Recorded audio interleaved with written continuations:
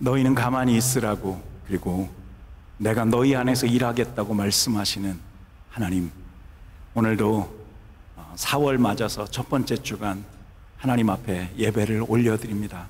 주여 이 시간 이곳에 임재해 주시고 정말 하나님 기뻐하시는 거룩한 예배를 하나님 앞에 올려드릴 수 있도록 인도해 주시옵소서.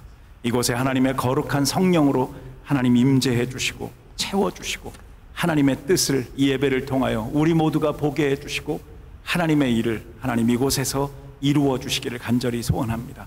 또 유튜브로 예배하는 곳에도 하나님 은혜를 부어 주시고 또 이곳저곳에 흩어져 있는 성도들 어디에 있든 하나님의 임재와 거룩한 사랑 아래 있도록 하나님 역사해 주시옵소서. 우리의 예배를 받으시기 합당하신 살아계신 우리 주 예수 그리스도의 이름으로 간절히 기도하옵나이다. 아멘. 우리 다 같이 일어나겠습니다. 할렐루야. 여호와를 기뻐하는 것이 너희의 힘이니라. 여러분 믿으십니까? 내가 이 시간에 하나님을 기뻐함으로 예배할 수 있기를 원합니다. 우리 한번 큰 박수로 주님 내가 당신을 기뻐합니다. 그 마음으로 그분께 영광의 박수를 올려드리겠습니다. 할렐루야. 주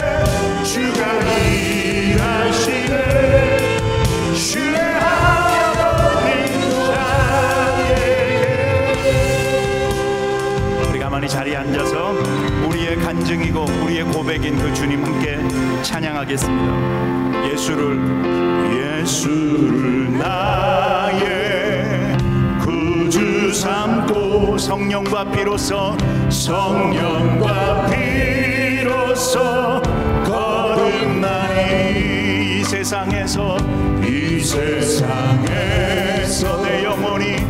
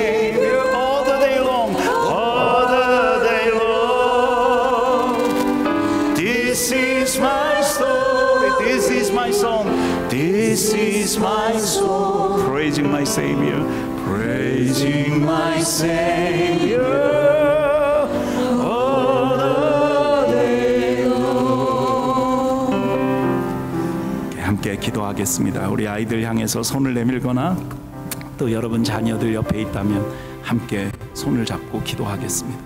Father in heaven, you are almighty Lord, our king and our God, Lord. We worship you in this time with our heart and our flesh. We accept, expect you, your pleasure become full due to our praise and confession of faith.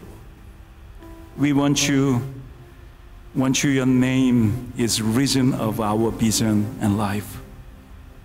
God, all the children here believe in what God has entrusted to us. God, please help us to do only your will as we raise these children. Please fill all the families of our church with the word of God, Lord. So please help us embrace our children not with anger, but with your love, Lord. Lord, please help these children live centered solely on the Word of God from their childhood. Lord, please help them meet teachers and friends of good faith. Lord, please help them go beyond Lizina and become people of God who change the world. Thank you for your everlasting mercy, everlasting grace in the Jesus Christ. Today, make us one in love and words of you as Father is one. We all pray in the name of Jesus Christ. 아멘. 예, 우리 아이들 일어나서 또 중고등 부도 같이 성경 공부하러 올라갈 텐데 예, 여러분 박수로 축복해 주시면 좋겠습니다. 네. 이 시간에 우리 모두를 대표해서 우리 최미선 집사님 기도해 아, 주시겠습니다. 함께 머리 숙이고 한 번더 아, 잠시 하나님 앞에 회개하면서 이렇게 나아가면 좋겠습니다. 함께 머리 숙여 기도합니다.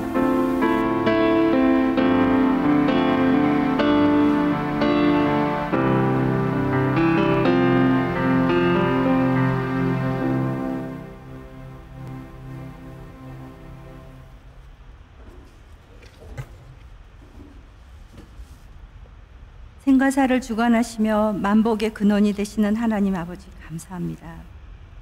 오늘 이 예배가 신령과 진정으로 드려지는 참된 예배가 되기를 소원합니다. 주님 임재하시어 영광 받아 주시옵소서. 한 주간을 돌아봅니다.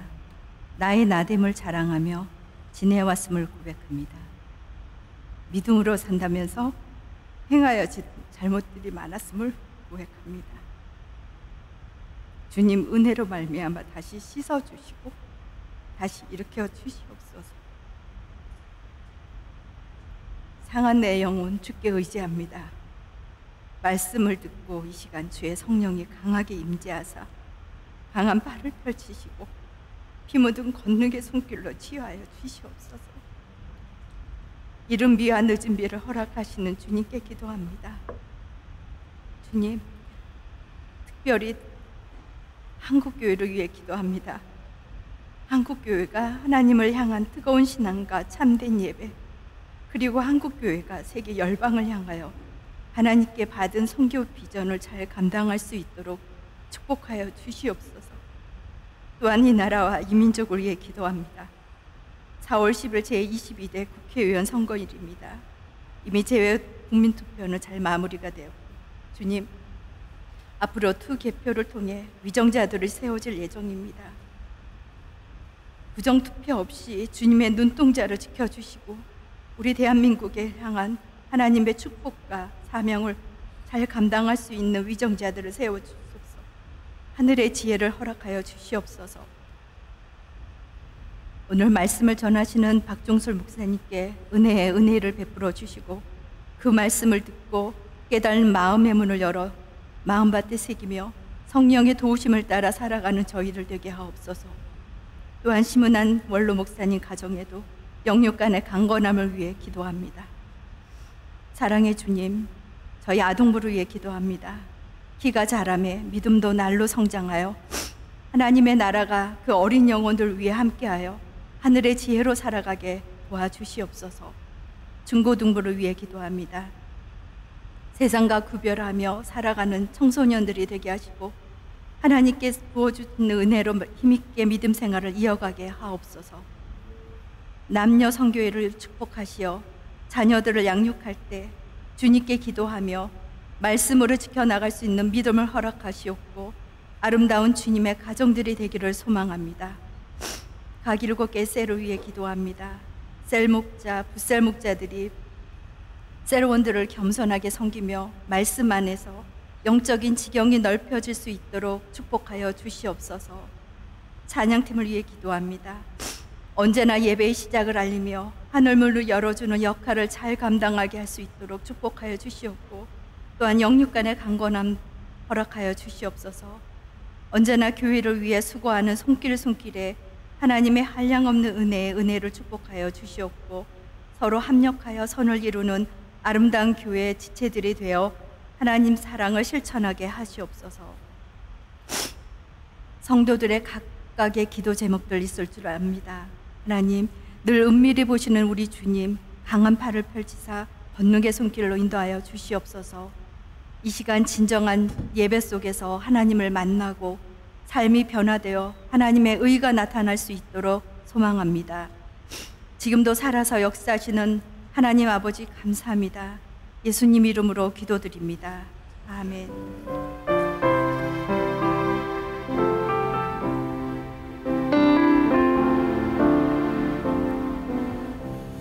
예, 이 시간 하나님 앞에 드려진 헌금 봉헌하는 시간 갖겠습니다.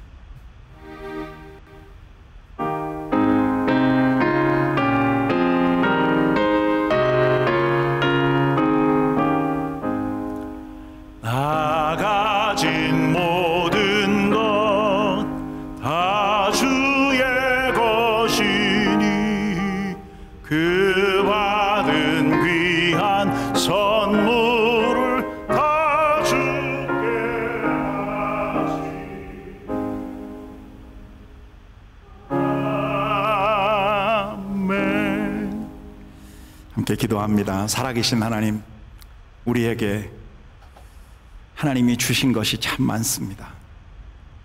빈손 들고 정말 그 벌건 몸뚱어리 하나 하나님 이 땅에 왔습니다. 그럼에도 불구하고 오늘 우리가 누리고 하나님 우리가 붙들고 있는 것이 참 많습니다. 하나님 이 모든 것을 통해서 하나님께 영광 올려드리기를 소원하고 이 모든 것의 근원이 되신 하나님을 우리가 날마다 기억할 수 있기를 소원합니다. 오늘도 마음을 다해서 정성을 다해서 주님 앞에 예물을 올려드린 손길들을 주님이 기억해 주시고 이 드려진 물질이 흘러가는 곳에 거룩한 하나님의 뜻이 복음의 그 영광이 흘러갈 수 있도록 역사해 주시옵소서. 하나님 세대가 너무도 악합니다. 때로는 우리가 그 악한 것조차도 알지 못하고 그냥 세상을 얼마나 따라가는지 하나님 특별히 기도하는 것은 전 세계 이 악한 세상 속에서 목숨을 걸고 선교지에서 수고하고 애쓰는 선교사님들을 주님이 기억해 주시고 주여 주여 하, 정말 그들을 통해서 이 땅에 어두움이 물러가고 하나님의 나라가 임할 수 있도록 하나님 역사해 주시옵소서. 모든 족속들마다 하나님 아버지 복음을 듣게 해 주시고 하나님 그래서 이 마지막 때 우리가 주 우리의 세대에 주님이 다시 오시는 하나님 그런 영광을 우리가 누릴 수 있기를 간절히 소원합니다. 하나님께 다시 한번 영광 올려드리며 살아계신 예수님의 이름으로 기도합니다. 아멘. 예, 오늘 우리에게 주신 하나님의 말씀 우리 다 같이 일어나서 함께 아, 봉독하겠습니다. 아, 출애굽기 1장 1절부터 8절까지의 말씀입니다. 예, 출애굽기 1 8 예. 오케이. 제가 먼저 읽겠습니다. 야곱과 함께 각자 자기 식구를 데리고 이집트로 간 이스라엘 아들들의 이름은 이사갈, 수불론, 베냐민, 단, 납달리, 갓, 아셀입니다. 아, 요셉은 이미 이집트에 있었습니다. 야곱스라의 자손들은 모두 70명이었습니다. 요셉과 그의 형제들 그리고 그 시대의 사람들은 다 죽었습니다. 그러나 이스라엘 자손은 자식을 많이 낳아 크게 번성하고 대단히 강대해졌으며 땅에는 이스라엘 자손들로 가득 차게 됐습니다. 요셉을 알지 못하는 새로운 왕이 일어나 이집트를 다스렸습니다. 아멘. 예, 자리에 앉겠습니다. 예, 음, 성경이 전체가 몇 권이죠? 66권. 예, 그렇죠. 우리가 이제 그냥 아, 한국 사람들이 특별히 잘하는 게 있는데 어릴 때부터 외웠던 구구단이 있습니다. 그래서 구약 성경은 39권입니다. 그래서 39, 그래서 신약 성경은 27권입니다. 그래서 이제 전체를 합치면 66권이에요. 근데 이제 66권의 그 성경은 약 저자가 40명 정도 됩니다. 그러니까 각 권마다 이렇게 성경을 쓴 저자들이 다릅니다. 그것도 그냥 저자만 다른 것이 아니라 아, 최소한 1500년에서 1600년 정도에 걸쳐서 이 성경이 기록이 되어져 있습니다. 아, 그 중에서 이제 가장 먼저 기록된 성경이 어떤 것일까? 우리는 보통 창세기라고 생각하지만 사실은 이제 욥기 같은 성경이 아, 기록하는 데 있어서는 가장 먼저 기록된 성경으로 그렇게 되어져 있습니다. 근데 이제 성경의 처음 시작은 아, 창세기부터 이루어져 있습니다. 그리고 성경의 맨 마지막은 요한계시록까지. 어쨌든 이 66권의 성경이 이렇게 우리가 매일매일 접할 수 있게 되기까지는 사실은 굉장히 오랜 세월이 걸렸고 어떤 사람들은 그것을 위해서 목숨을 버리는 순교하는 그런 일들까지 있었습니다. 우리는 요즘 그런 이야기를 가끔 합니다. 말씀이 홍수처럼 우리 가운데 밀려온다고. 근데 오늘 아침에 제가 그 소향신가요? 그뭐 이렇게 누가 그 간증을 이렇게 짤막한 거 3분짜리를 보내줘서 그거를 이렇게 아침에 잠깐 봤습니다. 근데 이 소양 자매가 그 간증하면서 자기에게 성경 말씀이 얼마나 강력하게 자신의 인생을 변화시켰는지에 대해서 이야기하면서 오늘 이 시대를 살고 있는 모든 사람들은 하나님 앞에서 진짜 감사해야 된다. 특별히 무엇 때문에 감사해야 되는가? 우리가 하나님의 말씀을 언제든지 접할 수 있는 하나님의 음성을 언제든지 들을 수 있는 그런 기회, 그런 시대에 우리가 살고 있다는 것입니다. 사실은 오늘 우리가 출애굽기를 읽었는데 아, 이 구약 시대는 아직까지 이 성경을 읽을 수 있는 그런 상황이 아니었습니다. 그냥 하나님이 일하고 계신 그리고 직접 하나님이 말씀하시는 그런 시대를 살았습니다. 그리고 우리가 아, 그 생각하는 예수님 탄생 이후에 그 신약 시대를 우리가 생각하면 그때는 구약 성경밖에는 없었습니다. 그러니까 이 신약의 성경이라고 하는 것이 없었습니다. 최소한 지금부터 100년 전만 해도 실은 이 성경이라고 하는 것을 이렇게 문자에 쓰여진 이 책을 들고 다니는 것이 쉽지 않은 그런 세상이었습니다. 더군다나 중세 시대 같은 경우는 그냥 그 교부들 어찌 보면 지금의 어, 이런 목사와 같은 어, 어떤 그런 사람들만이 그 책을 읽을 수 있었고 그냥 성도들은 일방적으로 그 교부들이 가르치는 대로 듣기만 해야 되는 그래서 성경을 깊이 이해하고 안다는 것이 정말 어려운 그런 시대였습니다. 그런데 여러분 오늘 이렇게 성경의 그런 홍수, 말씀의 홍수가 있음에도 불구하고 참 안타까운 것은 이것이 너무도 큰 은혜인데 그것을 누리지 못하고 그냥 말씀과는 너무 상관없이 산다라고 하는 것입니다. 저는 오늘 이렇게 출애굽기를 시작하면서 여러분에게 도전하고 싶은 것이 있습니다. 사실은 이 창세기부터 요한계시록까지 66권의 그 모든 그 말씀을 통해서 하나님이 우리 가운데 깨닫기를 원하시는 것은 뭐냐 하면 하나님 그분이 살아계시다. 내가 너희의 하나님이다. 내가 너희의 아버지다. 나를 기억해라. 내가 너희를 구원할 것이다. 그 이야기를 계속해서 하고 있습니다. 여러분, 이 시대에 우리가 듣고 보고 뭐 어찌 보면 또 하나 굉장히 중요한 거 사실은 한 3, 40년 전까지만 해도 우리가 생각지도 못했던 것들이 있는데 이 시대에 가장 많이 사람들이 시간을 투자하는 게 뭔지 아십니까? 물론 돈 버는데 일들을 투자하죠. 그러나 너무도 많은 시간을 자신들의 즐거움, 쾌락. 요즘 그래서 어떤 경우는 교회도 목사가 설교를 너무 길게 하거나 아니면 재미가 없거나 그러면 오지 않아요. 재미없다고. 여러분, 하나님이 우리의 재미를 위해서 존재하시는 분이 아니세요. 하나님은 우리를 구원하시고 우리에게 영원한 그 생명, 하나님의 나라를 선물해 주시기 위해서 우리를 기다리시는 분이세요. 하나님은 그런 분이세요. 우리와 함께 지금 이 세상에서 보는 것과는 전혀 차원이 다른 그런 인생을 살도록 우리를 불러, 불러주고 계신 분이라고 하시는 것이죠. 우리가 예수를 믿는다, 교회를 다닌다라고 하는 것에 있어서 굉장히 중요한 것이 하나가 있는데 그것은 뭐냐 하면 하나님의 약속을 우리가 믿고 바라보는 것입니다. 하나님의 그 모든 약속, promise of God, 우리 그 covenant라고 이야기하는데 하나님과 우리 사이에 하나님이 주신 그 covenant. 여러분 이것은 어디에 쓰여져 있는가? 그냥 목사가 이야기하는 어떤 말에 있는 것이 아니라 여러분 성경에 그것이 기록되어져 있습니다. 오늘 설교 제목이 출애굽기를 시작하면서 약속을 지키시는 하나님. 우리는 하나님의 그 살아계심을 믿고 하나님이 분명하게 우리 가운데서 약속을 지키신다는 그 사실을 믿고 나아가야 합니다. 왜 목사님 출애굽기인가? 여러분 출애굽기는 저는 그냥 그렇습니다. 개인적인 의견이지만 이 출애굽기는 성경 66권 중에서 어쩌면 우리에게 가장 중요한 성경입니다.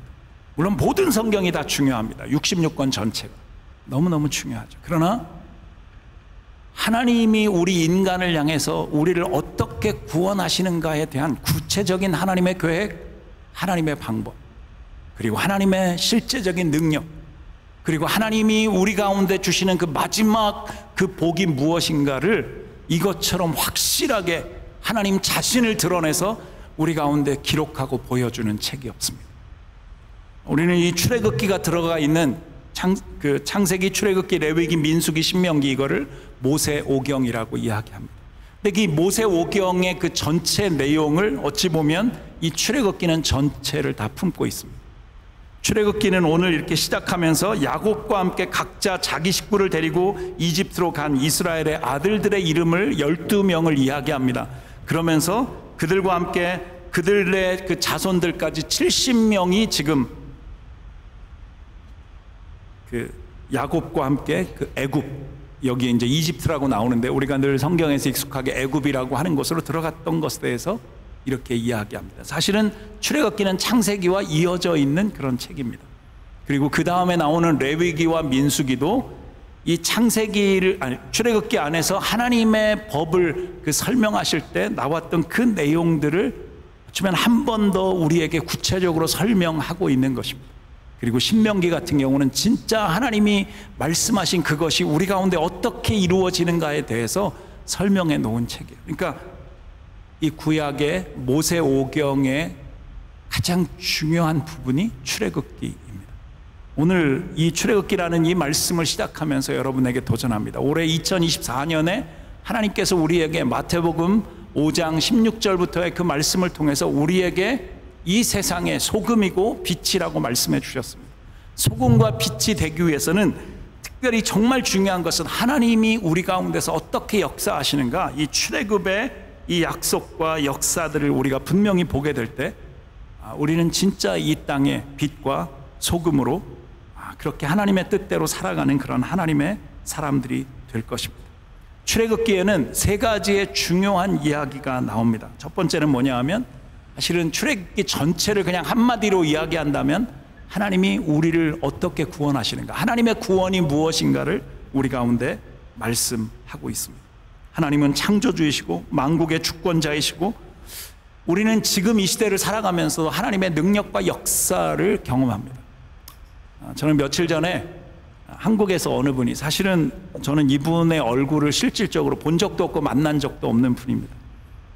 그런데 이제 카카오톡으로 어떻게 하다가 연결이 돼서 그냥 가끔 기도 제목을 보내드리고 그러는데 이분이 돈을 80만 원을 저한테 보내셨어요. 뭐 때문에 보내셨을까? 근데 오늘 아침에 아, 일찍 우리 아프리카에 저랑 함께 이렇게 오랫동안 이렇게 사역 하시는 뭐 제가 그냥 돕는 거죠. 근데 그 선교사님이 이렇게 연락이 오셨어요 카톡으로. 아, 목사님 지금 아, 저희 선교단체가 너무 힘듭니다. 재정적으로 너무 힘들고 아, 그래서 우간다에 있는 고아원도 그렇고 콩고에 있는 그 고아원도 그렇고 아이들 어쨌든 다 이제 그쪽의 교육부 산하에 있는 그런 그 고아원을 만들어서 운영하고 있는데 이 정부에다가 돈을 내야 되는데 아, 지금 몇 달째 이제 그거를 재정 상황이 너무 어려워서 못 내고 있으니까 사실은 고아원을 지금 닫아야 되는지 그래서 너무 급하게 지금 재정이 필요한데 아, 그냥 기도해 주세요 이렇게 보내셨어요. 근데 아 이거는 하나님이 저에게 80만 원을 지금 거기로 보내라고 보내셨구나. 그래서 이제 저희 교회도 그곳을 한 달에 이제 여기 캐네디언 달러로 100불씩 후원하고 있는데 그래서 저희 교회 두 달치 후원금하고 해가지고 이제 아침에 100만 원을 보냈습니다. 이제 선교사님이 바로 연락이 오셨어요. 하나님이 이 모든 것을 채우실 것을 믿는다고 그리고 하나님이 일하실 것이라. 여러분 저는 하나님이 분명히 살아계신 것을 어쩌면 그냥 우연히 그럴 수도 있겠지 여러분이 그렇게 생각할지 모르지만 하나님은 살아계시고 일하십니다. 그 모든 것들을 지금 살피고 계세요. 중요한 것은 여러분이 하나님이 나에게 어떻게 일하시고 있는가 여러분의 관점으로 보시면 안 됩니다. 하나님의 관점으로. 하나님이 나를 통해서 어떤 일을 행하기를 원하시는가를 여러분이 보실 수 있어야 돼요. 여러분 하나님은 우리를 구원하시기를 원하세요. 이 출애굽기를 통해서 하나님 그거를 말씀하세요. 그리고 그 구원을 이루시기 위해서 우리에게 이 죄라고 하는 것이 무엇인지를 분명하게 가르쳐 주기 위해서 그 기준으로 율법, the law. 사실은 우리가 법이 없으면 무엇이 선이고 무엇이 악이고 어떤 것이 잘한 것이고 못한 것이고 이것을 알 수가 없어요. 그래서 하나님이 이 출애굽기에 보면 하나님의 그 율법을 우리 가운데 말씀하십니다. 십계명을 포함해서 그 십계명을 구체적으로 어떻게 지켜야 되는가에 대해서 자세하게 이 율법들을 설명하십니다. 그리고 하나님과 우리 사이의 그 관계의 그 중요함 그것 때문에 이 성막이라고 하는 것을 마지막에 25장부터 40장까지의 아주 길게 설명하고 계십니다. 사실은 출애굽기에서 우리가 아는 아 그것은 그거죠. 그러니까 이제 모세가 진짜 애굽에 있었던 이스라엘 백성들 그죠? 그냥 장정들만 60만. 그러니까 한 가족 단위로 다 하면 최소한 250만에서 300만 정도나 되는 이스라엘 백성들을 애굽에서 이끌고 나오는 내용이에요. 그래서 우리의 기억 속에는 홍해가 갈라진다든지 뭐 열 가지 재앙이 임한다든지 여러 가지 것들을 이야기하지만 사실은 그거는 12장에서 다 끝납니다. 그 나머지 이 40장까지의 이 28장을 할애해서 하나님의 그 법과 그리고 하나님과 우리가 정말 친밀하게 아, 가져야 되는 그 관계를 위해서 성막이라고 하는 것. 이 우리가 어떻게 하나님을 예배하고 어떻게 하나님을 만날까에 대한 것을 설명하고 있습니다. 그러나 이 모든 세 가지의 가장 중요한 것은 우리를 구원하시고자 하는 그 하나님의 뜻이 거기 있다라고 하는 것입니다. 여러분, 아, 이 오늘 읽었던 이 본문, 사실은 오늘 1절부터 그 1장의 22절까지 전체를 읽고 싶었지만 그냥 앞부분만 이렇게 읽었습니다. 오늘 이 말씀 속에서 출애굽기를 우리가 시작하면서 여러분이 첫 번째로 꼭 기억을 해야 될 것은 하나님은 반드시 약속을 지키신다. 여러분 믿으십니까? 여러분 한번 진짜 큰 소리로 아멘 하시면 좋겠습니다. 아멘. 네, 하나님은 반드시 우리에게 약속을 지키시는 분이십니다.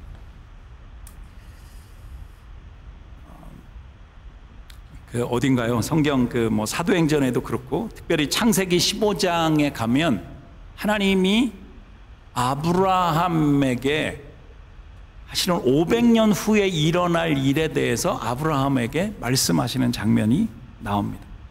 아브라함에게 뭐라고 말씀하시냐면 너는 아주 확실하게 이것을 기억하고 있어야 되는데 내 씨가 자기들의 소유가 아닌 다른 땅에 가서 그러니까 애굽에 가서 나그네가 되어서 그 애굽에 있는 사람들을 섬기게 될 거고 그 애굽에 있는 사람들이 너의 그 자손들 그러니까 이스라엘 백성들을 400년 동안 괴롭히게 될 것이다. 그러나 그 400년이 지난 다음에 내가 그들을 그곳으로부터 이끌어낼 건데 그들이 굉장히 많은 그런 소유를 가지고 그러니까 많은 것들을 가지고 그 땅에서 나올 것이다라고 하는 것을 말씀하고 있습니다. 여러분 아, 출애굽기 1장 7절 말씀을 보면 그러나 이스라엘 자손은 자식을 많이 낳아 크게 번성하고 대단히 강대해졌으며 땅에는 이스라엘 자손들로 가득 차게 되었다. 제가 조금 전에 창세기 15장에 있는 이야기를 했는데 지금 500년이라고 하는 그 세월이 지났습니다. 그러고 나서 지금 여기 진짜 애굽 땅에서 있는 그 이야기를 여기 출애굽기 1장이 기록하고 있는데 이스라엘 백성들이 어땠는지 우리 한번 1장 7절을 같이 한번 읽어보겠습니다. 시작. 그러나 이스라엘 자손은 자식을 많이 낳아 크게 번성하고 대단히 강대해졌으며 땅에는 이스라엘 자손들로 가득 차게 되었습니다. 사실은 이 애굽 땅에 이 이스라엘 백성들이 갈 수 있었던 중요한 이유는 거기에 숨겨진 하나님의 축복이 있었습니다. 우리가 잘 아는 사람이 있습니다. 구약 성경 그러면 우리가 이렇게 떠오르는 사람들이 아브라함, 그 다음 누구죠? 이삭, 그 다음에 야곱, 그 다음에 요셉. 누가 맨 먼저 이, 이 애굽에 이집트에 가죠? 야곱? 예, 요셉이 먼저 갑니다. 요셉이 어떻게 가죠? 형들한테 팔려가지고 종으로, 그죠? 형들이 요셉이 너무 미우니까 어떻게 해요? 그냥 구덩이에다 던져버립니다. 그냥 죽인 거죠, 사실은. 그런데 여러분 그 성경을 읽다 보면 너무 재미있는 게 있는데 여러분, 여러분 성경을 읽는 분들 안에 이런 것들이 이렇게 딱 들어오면 좋겠어요. 요셉이 던져졌던 그 구덩이가 사실은 형들은 던질 때 거기가 무슨 물 같은 게 있는 줄 알았을 거예요. 그러니까 거기다가 빠뜨리면 요셉이 죽을 거라고 생각했는데 성경 기록에 보면 거기에는 물이 없었더라 이렇게 기록되어 있어요. 어쨌든 하나님이 그 일에도 관여하고 있었어요. 형들에게 미움을 받아서 요셉이 구덩이에 던져지고 그리고 요셉이 어찌어찌해서 상인들에게 팔려서 애굽으로 갑니다. 거기서 요셉은 아, 감옥에 있는 동안 꿈을 하나님의 그 지혜를 가지고 꿈을 풀이해 주는 일을 통해서 왕의 총애를 받게 되고 결국은 이 애굽이라고 하는 그 시대의 가장 강대한 나라의 총리가 되죠. 그러니까 모든 그 국고, 그러니까 나라 전체의 살림을 맡는 어쩌면 정치, 경제, 사회, 교육, 문화 모든 것에 영향력을 끼칠 수 있는 그런 사람이 되는 것입니다. 그 사람 때문에 여러분 이, 이 이스라엘 땅에 지금 이스라엘 백성들이 살고 있었던 땅에 가뭄이 오고 이, 이 농사를 통해서 먹고 살 수 없는 그런 상황이 되고 여러분 그것 때문에 이 형들과 이 야곱이 곡식을 구하러 애굽에 가게 됩니다. 어쨌든 그곳에서 요셉을 만나죠. 그때 요셉은 이렇게 이야기합니다. 형들 너무 괴로워하거나 힘들지 말라고. 내가 여기까지 오게 된 것은 하나님의 뜻이 있었다고. 여러분, 여러분이 리자이나 땅에 와 있는 것이 여러분이 어쩔 수 없이 그냥 한번 어떻게 어떻게 하다가 내가 지금 여기 와서 살고 있다고 생각하시면 여러분의 인생이 계속해서 괴롭고 힘드실 수 있어요. 여러분이 지금 이 자리에 있는 것은 하나님의 인도하심입니다. 저는 여러분에게 요셉 같은 고백이 있었으면 좋겠어요. 내가 이, 이, 이제 더 이상 제가 이렇게 촌이다, 뭐 시골이다 이런 이야기는 안 하려 그럽니다. 근데, 예, 저, 너무 좋은 곳이죠, 리자이나. 믿으십니까?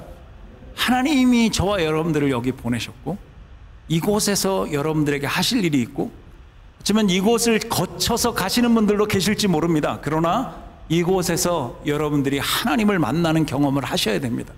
하나님은 그 일을 위해서 여러분들을 불러주신 것입니다. 여러분 믿으십니까? 그냥 어떤 분들은 그냥 몇 달 왔다가 가시는 분들로 계세요. 그렇지만 저는 그분들이 다 이곳에서 복음을 듣고 하나님의 사람으로 전 세계로 흩어져 갈 수 있기를 소원합니다. 어쨌든 요셉을 그 땅에 보내시고 요셉을 통해서 오늘 여기 아, 이 출애굽기를 시작하면서 그 요셉의 이름이 나오잖아요. 요셉은 이미 그 땅에 와 있었더라. 여러분 이 야곱의 12명의 그 아들들과 함께 그리고 그들의 어쩌면 그 자손들까지 해서 70명이 지금 이 애굽에 온 것입니다. 그리고 그 애굽에서 있는 그 기간 동안 아, 성경은 이제 여기저기 뭐 400년, 430년 막 이렇게 이제 기록하고 있는데 사실은 이것이 이제 신학적으로 이렇게 연구를 하다 보면 조금 그 횟수는 차이가 있습니다. 그러나 성경은 아, 분명하게 430년 동안 이스라엘 백성들이 종살이를 했다고 그렇게 기록하고 있습니다. 그런데 그렇게 아마 지금 여기쯤이면 한 300, 한 7, 80년 되지 않았을까? 지금 여기 기록하고 있는. 여러분 그 기간 동안에 하나님이 어떻게 약속을 지키셨는가? 이스라엘 자손은 자식을 많이 낳았습니다. 그리고 크게 번성했고 대단히 강대해졌고 땅에는 이스라엘 자손들로 가득 차게 되었습니다. 저는 여기 그 네 가지 단어를 제가 파워포인트에다 넣어놨었는데 혹시 보여주실 수 있을까요? 안 보이나? 예, 거기 네 가지 단어 해놨었는데 여러분 여기 보시면 이렇게 형용사라 그래야 될까요? 여기 보면 이렇게 되어져 있습니다. fruitful했다. 그러니까 뭔가 그 열매가 아주 많았다는 것입니다. 그리고 abundantly라고 하는 단어가 아주 아주 심히 너무 아주 그냥 풍성하게 그리고 영어 성경에 보면 multiplied and grow exceedingly 아주 넘치도록 힘이 있게 그렇게 하나님이 하셨다는 것입니다. 그리고 filled with them 그 땅을 가득 채울 만큼 이스라엘 백성들이 그 땅에 늘어난 것입니다. 비록 노예로 살고 있었지만 하나님이 그들에게 엄청난 복을 주셨다는 것입니다. 저희가 여러분 이 캐나다라고 하는 것 사실은 그냥 어 뭐한 20년 전, 30년 전만 해도 사실은 한국 사람으로서 이 캐나다에 온다는 것은 어찌 보면 그렇죠. 엄청난 축복이고 모든 사람들이 부러워하는 그런 일들이었는지 모릅니다. 여러분이 이 땅에 오셔서 이렇게 사실 때그 처음 이곳에 이민 오시고 하실 때만 해도 뭐 영어권이거나 이런 걸 넘어서 잘 사는 나라고 또 거기 가면 나름대로 부자가 될 수 있고 뭐 여러 가지 문화적인 어떤 것들을 누릴 수 있다고 여러분 오셨을 것입니다. 여러분 그런데 그냥 제가 이렇게 여러분이 이곳에 있는 것을 보면서 제가 여기까지 와서 이렇게 보면서 하나님이 한국 분들에게 참 특별한 축복을 주셨구나. 물론 이곳에 다양한 민족들이 와서 사는데 사실은 이렇게 한국 사람들처럼 열심히 교회를 섬기, 섬기고 하나님의 나라가 이 땅에 이루어지도록 기도하고 최선을 다하고 여러분 이런 모습들이 아무것도 아닌 것 같은데 하나님이 여러분에게 주신 놀라운 축복이라고 하는 사실을 기억하시면 좋겠습니다. 여러분이 여전히 하나님이 이곳에서 나를 복되게 하실 것이다라고 하는 그 이스라엘 백성들, 그 야곱과 함께 왔던 그 열두 그 열두 명의 그 하나님의 사람들이죠. 그들처럼 끝까지 하나님을 믿고 신뢰할 때 하나님은 여러분들에게 분명히 끊임없는 복을 부어 주실 것입니다. 이 약속을 지키시는 그 하나님. 우리가 히브리서 11장의 1절에 믿음은 바라는 것들의 실상이라고 실체라고 그리고 우리가 볼 수 없는 것들의 증거라고 하는 말씀을 계속해서 나눕니다. 여러분 하나님은 반드시 약속을 지키시는데 그래서 우리가 그 하나님을 믿기만 하면 우리가 눈에 보이지 않는 것도 이미 우리가 증거처럼 발견할 수 있고 우리가 믿음으로 꿈을 꿀 때 그것이 이미 우리에게 리얼리티 실체가 된 것을 알 수 있다고 성경은 이야기하죠. 여러분 왜 하나님이 그렇게 약속을 지키시고 우리의 믿음의 증거가 될 수 있을까요? 여러분 그분이 가지신 능력, 어빌리티 하나님은 창조주이십니다. 그냥 그거 한마디만으로 그분은 얼마든지 우리를 구원하실 수 있는 분이십니다. 여러분 그렇게 하나님은 능력이 있- 있으신 분이십니다. 그리고 또 하나 필요한 것이 있는데 우리의 믿음의 가장 중요한 근거는 뭐냐면 아까 우리 찬양팀이 함께 찬양했는데 하나님은 여전히 우리를 위해서 일하고 계십니다. 어떻게 일하고 계신가? willingness, willingly, integrity를 가지고 그러니까 성실하게 지금도 일하시는 하나님. 그러니까 능력이 많으시고 우리를 위해서 지금도 한 번도 쉬지 않고 일하시는 그분이 하나님이십니다. 그 하나님이 우리에게 반드시 그의 약속을 지켜 주실 것입니다. 여러분 믿으십니까? 그 다음에 두 번째로 하나님은 우리에게 이렇게 약속을 붙들고 나아가는 사람들에게 하나님은 분명하게 축복을 주시는 분이라고 성경은 기록합니다. 여러분 조금 전에 읽었던 아, 이 아, 출애굽기 1장 7절의 말씀 다시 한번 여러분들에게 읽어드리면 그러나 이스라엘 자손은 자식을 많이 낳아 크게 번성하고 대단히 강대해졌으며 땅에는 이스라엘 자손들로 가득 차게 됐습니다. 여러분 약속을 붙드는 사람들에게는 이 흘러 넘치는 축복을 주세요. 오버플로잉. 그냥 우리가 생각하는 수준의 그런 복이 아니라 이 오버플로잉 넘치는 그런 축복을 우리 가운데 부어 주시는 분이라고 하는 그 사실을.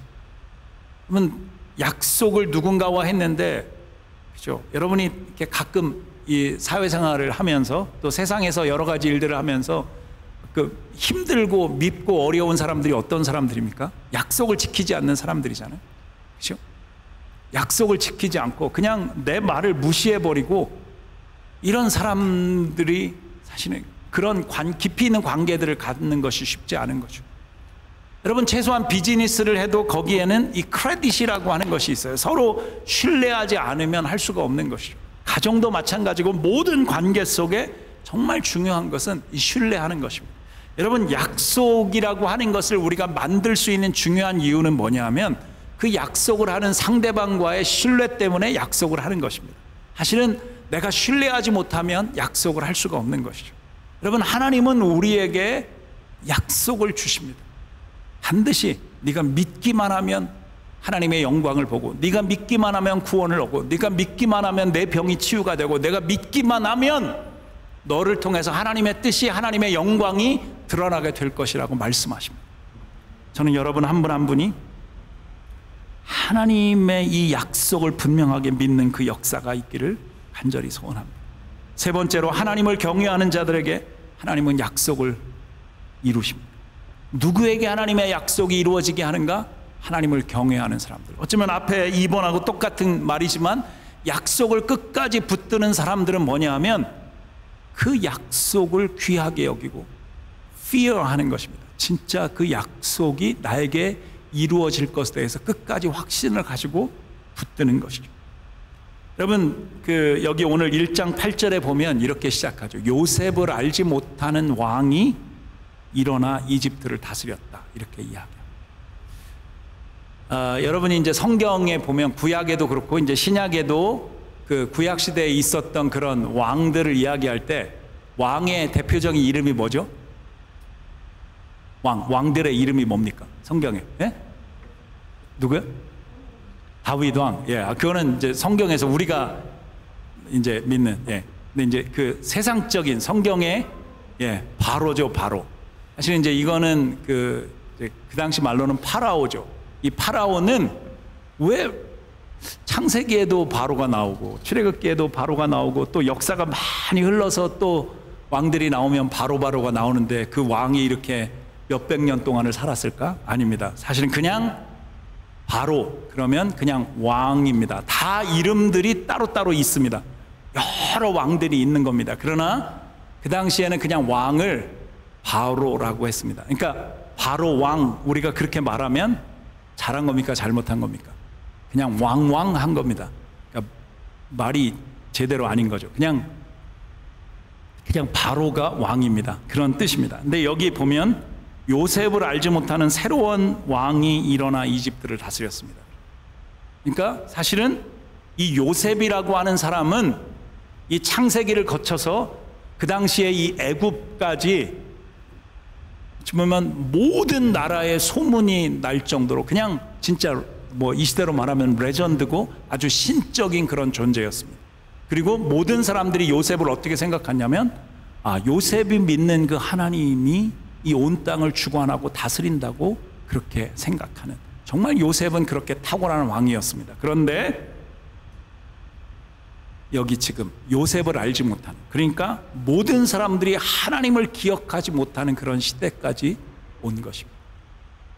그러나 여전히 이스라엘 백성들은 하나님을 기억하고 있었습니다. 그래서 그 애굽의 왕이었던 이 바로가 어느 날 이 뭐랄까요? 그 이스라엘 백성들이 너무 아기를 잘 낳고 막 이렇게 번성을 하니까 그 산파들 아기를 낳는 것을 도와주는 그런 산파들을 불러 가지고 무슨 부탁을 하냐면 너희가 이스라엘 백성들이 그 유대인들이 아기를 낳을 때 어떻게 하라 그러냐면 아들은 그냥 바로 죽여버려라. 그리고 딸들만 살려두라고 부탁합니다. 그런데 여러분 여기 성경에 보니까 1장 17절에 이렇게 되어져 있습니다. 그러나 이 산파들은 하나님을 경외했기 때문에 이집트 왕이 시키는 대로 하지 않고 아들이라도 살려 주었습니다. 이 산파들은 유대인들이었고 이들은 하나님을 경외하는 사람들이었습니다. 그래서 이 바로 왕이 말하는 이것은 하나님의 뜻이 아니라고 하는 것을 알았습니다. 그래서 이 산파들은 왕의 명령에도 불구하고 목숨을 걸고 아들들을 살려내기 시작합니다. 어느 날 이 바로가 다시 산파들을 부릅니다. 왜냐하면 분명히 아들들을 죽이라고 했는데 계속해서 인구가 늘어나니까 아들 이 산파들을 불러가지고 도대체 어떻게 된 거냐? 어떻게 이 사내 아이들이 지금도 살아서 이렇게 돌아다니느냐고 이 산파들을 꾸짖듯이 이야기합니다. 그때 산파들이 하나님이 지혜를 주신 대로 이야기합니다. 뭐라고 이야기하죠? 이 히브리인들, 유대인들은 이 산모들이 너무 건강하고 태어난 아이도 너무 건강해서 이, 이 산파가 내가 지금 아기 낳는 거를 도와주려고 가기 전에 이미 애가 태어나가지고 너무 건강하다는 거예요. 그러니까 그런 아이를 죽일 수가 없다고 이야기합니다. 바로는 거기서 어쩌면 막 뒤집어졌겠죠. 어떻게 이 산파들이 아이를 그렇게 못 죽이니까. 여러분, 이 하나님을 경외했던 그래서 21절에 보면 산파들이 하나님을 경외했으므로 하나님께서는 그들의 집을 번성하게 하셨습니다. 여러분 이 출애굽기 1장에 계속해서 나오는 이야기는 뭐냐 하면 하나님이 한번 약속하시면 이 왕이라도 세상에 어떤 권력을 가지고 있는 것이라도 하나님의 그 약속을 거부하거나 하나님의 뜻을 막을 수 없다는 것입니다. 여러분이 하나님의 관점, 하나님을 정말 믿는 믿음으로 살아간다면 하나님이 여러분들을 통해서 이루시고자 하는 어떤 일들은 어떤 것도 막을 수 없다는 것입니다. 중요한 것은 믿는 자들을 통해서 하나님은 그 일을 행하신다라고 하는 것입니다. 오늘 말씀을 정리하면서 우리가 꼭 끊임없이 기억을 해야 될 중요한 것이 있습니다. 하나님은 약속을 지키십니다. 저는 여러분들도 하나님의 약속을 지키시는 하나님 앞에서 여러분들도 하나님 앞에 여러분의 약속을 지킬 수 있는 분들이 되어 주시면 좋겠습니다. 조금만 피곤하고 지치고 어떤 일들이 있을 때 내가 조금만 손해 보는 것 같고 여러분 그럴 때마다 여러분의 중심을 가지고 분노하고 어떻게 해야 될까 이것이 아니라 하나님이 이 일을 통해서도 나에게 말씀하시고 내 인생을 이끌어 가시는구나 그리고 하나님의 약속을 끝까지 기대하시기 바랍니다. 때로는 하나님이 우리 가운데 그분의 약속을 이루어 가실 때 하나님의 그 계획과 뜻은 완전합니다. 그러나 우리 생각에는 이것이 뭔가 잘못됐다고 생각할 때가 있습니다. 하나님은 우리가 생각하는 것과는 다르다고 성경은 이야기합니다. 내 생각은 너희보다 더 높다라고 성경은 이야기합니다. 하나님은 뭐 지혜의 근본이시죠. 모든 것에 가장 뛰어나신 여러분 인간의 이 작은 머리 이 한계를 가지고 하나님의 그 인도하심과 그 뜻을 다 이해한다라고 하는 것은 있을 수가 없는 일이죠. 여러분 최소한 우리 아이들을 집에서 기르면서 여러분 엄마 아빠 되시면 애들 그냥 그 말 한마디 들으면 얘가 거짓말 하는지 안 하는지 거의 대부분 아시지 않습니까? 여러분 여러분이 그렇게 여러분의 자녀들에 대해서 아는 것처럼 하나님은 우리의 모든 것 우리가 어디를 가든 무엇을 하든 아시는 분이십니다. 때로는 이 하나님이 우리의 생각과는 전혀 다를 수 있다는 그 사실을 왜 우리에게 이런 일이 일어날까? 어떤 일을 통해서라도 하나님은 뜻을 이루시는 분이십니다. 그래서 하나님의 관점으로 보시기 바랍니다.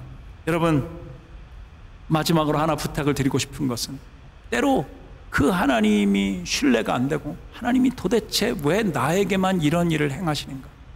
여러분 이런 경우가 있을까요? 남들은 다 잘 되는 것 같은데 왜 나만 이렇게 힘들고 왜 우리 자식만 이렇게 힘들게 하고 왜 내 비즈니스는 제대로 안 되고 내 관계는 이렇고 왜 왜 왜 왜 이럴까? 그러나 성경은 이야기합니다. 여러분 아브라함에게 약속하신 하나님 그리고 오늘 이 애굽 땅에서 500년 후에 일어나고 있는 이 일, 그리고 430년간의 그 종살이 이후에 이스라엘 백성들을 너무도 멋지게 가나안 땅으로 인도해 가시는 그 하나님, 그리고 우리를 위해서 십자가를 지신 예수 그리스도를 보내신 하나님, 그리고 죽으셨지만 사흘 만에 무덤에서 부활하셔서 우리에게 다시 오시겠다고 약속하시고 우리로 그 소망을 바라보고 살게 하시는 그 하나님. 여러분, 이해할 수 없을 때라도 이해할 수 없을 때라도 내 생각으로는 도저히 인정할 수 없을 때라도 하나님의 이름을 부르고 하나님이 내 인생을 이끌어 갈 것이라고 하는 그 확신을 여러분이 가지고 살아가시기를 간절히 원합니다. 여러분 고린도후서 4장에 보면 아, 이 말씀이 있습니다. 우리가 돌아보는 것, 그러니까 우리의 눈에 보이는 이 모든 것들은 어떤 경우는 보이지 않는 것들이 많다는 것입니다. 그러면서 보이는 것은 잠깐이고 보이지 않는 것이 영원하다고 이야기. 그렇죠. 우리 눈에 보이는 것은 그냥 잠깐인 거예요. 여러분, 제가 오늘 아침에 여러분들에게 그 카톡으로 한 분의 시를 보내드렸습니다. 사실은 그 끝부분을 좀 긴 것 같아서 제가 잘랐는데 진짜 배가 고파 보면 밥이 얼마나 중요한지 코가 한번 막혀 보면 이 코에서 내가 이렇게 산소를 들이마실 수 있다는 것이 얼마나 중요한지 그런 이야기들이 이렇게 쭉 쓰여져 있습니다. 제가 그 뒤에 부분에 보면 이 죽음에 관한 것이 있습니다. 죽음에 이르러 보면 내가 이 살아있다는 것이 얼마나 중요한지. 여러분, 우리 지난주에 부활주의를 맞으면서 예수 그리스도께서 마르다에게 뭐라고 말씀하십니다. 말씀하시나요? 나는 뭐라고요? 나는 부활이고 생명이니 나를 믿는 자는 죽어도 살겠고 살아서 나를 믿는 자는 영원히 죽지 아니하리라. 여러분 이 말씀을 여러분이 붙드시면 좋겠습니다. 눈앞에 보이는 것 때문에 여러분이 왔다 갔다 하는 사람이 아니라 우리 안에 보이지 아니하시는 하나님 그러나 우리 가운데 일어나고 있는 그 수많은 일들을 통해서 나를 보라고 나에게 돌아오라고 말씀하시는 그 하나님의 음성 하나님의 손길을 여러분들이 경험하며 사시기를 간절히 소원합니다. 우리 함께 머리를 숙이고 기도하겠습니다. 살아계신 하나님 이 시간 우리 모두가 주님을 바라봅니다. 지금도 우리 가운데 말씀하시고 하나님의 뜻을 이루어 가시고 보여주시는 그 하나님을 하나님이여 우리가 볼 수 있기를 간절히 소원합니다. 때로 우리 인생에 어떤 빛이 보이지 않고 한숨만 하나님 닥쳐올 때 나는 너무도 연약한 것 같고 나는 아무것도 할 수 없을 것 같고 그러나 그때 우리가 하나님 앞에 모세처럼 우리의 신발을 벗게 해주시고 거룩한 불꽃이 되시는 우리의 하나님 살아계신 하나님, 당신에게 우리의 시선을 고정할 수 있도록 인도해 주시옵소서. 그래서 우리의 인생 가운데도 이 출애굽기엔 너무도 엄청난 기적이었던 이 홍해가 갈라지는 이 물이 갈라지는 그런 아버지 역사가 일어날 수 있게 해주시고 하나님이 우리 가운데 보여주시는 그 길을 담대히 걸어갈 수 있는 그런 믿음을 우리 가운데 허락해 주시옵소서. 하나님 찬양합니다. 하나님 기뻐합니다. 예수님의 이름으로 기도합니다. 아멘. 이 시간에 어, 출애굽기 전체를 요약한 찬양과 같은 바다의 길을 하늘의 빛을 이라고 하는 찬양 함께 나누겠습니다.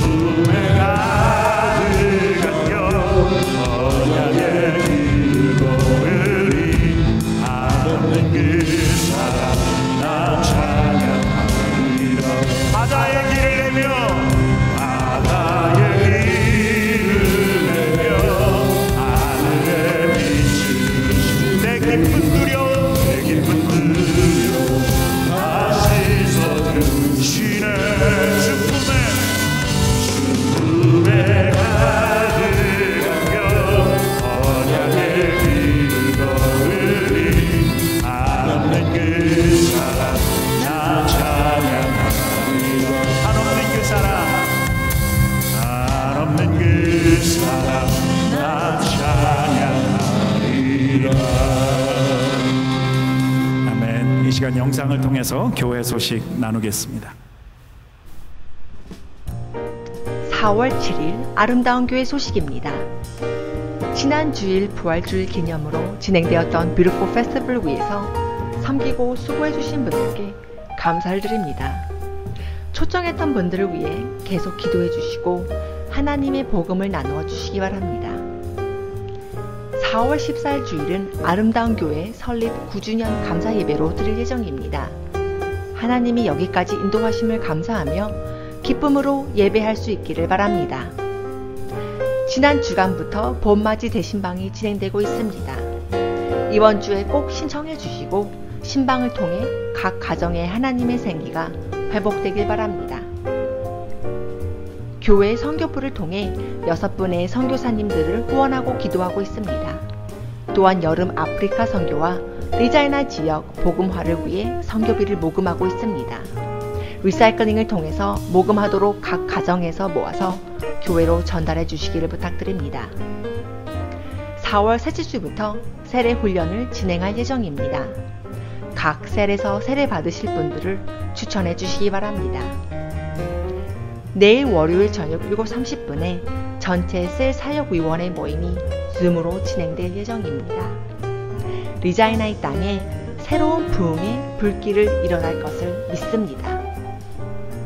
아, 여러분 늘이 자리에 여러분이 계신 것 인해서 너무 감사하고 이제 아, 우리의 조국 그 한국에서는 이제 선거가 지금 진행되고 있는데 아, 저는 특별히 뭐 어느 당을 찍어라 막 이렇게 뭐 한국 가서 연락하고 막 이런 것보다 정말 중요한 것은 하나님의 뜻이 이루어지도록 기도하는 것이 필요합니다. 여러분이 어쩌면 이곳에서 조금 한국을 볼 때 여러 가지 객관성을 가지고 볼 수 있는데 여러분 좀 그렇게 기도해 주시면 좋겠다. 정말 그 땅에 하나님의 뜻이 이루어지도록 우리의 기도가 여러분 아무것도 아닌 게 아닙니다. 여러분의 기도를 통해서 우리의 조국도 더 든든하게 서갈 것이라고 믿고 우리가 살고 있는 이 땅, 또 이 캐나다, 또 우리가 살고 있는 도시를 위해서 하나님의 뜻이 이루어지는 그런 곳 되도록 우리가 계속 어, 기도하는 것이 꼭 필요합니다.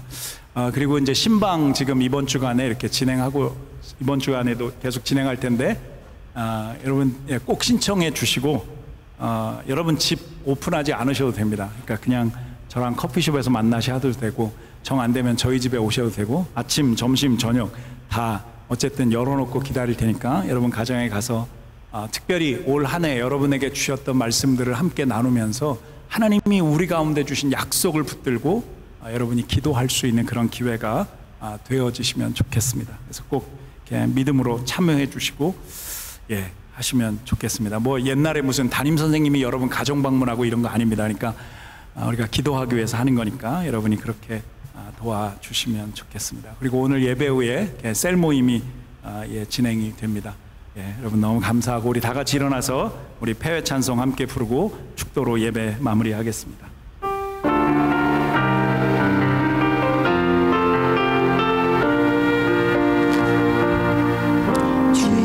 말씀 따라서 살아가기 원하 세상에. 세상의 소금 되어 주만 나타내리라. 주의 말씀. 주의 말씀 따라서 살아가기 원하는 세상의 빛이 되어 세상의 빛이 되 예수만. 예수만 섭리라. 하나님 나라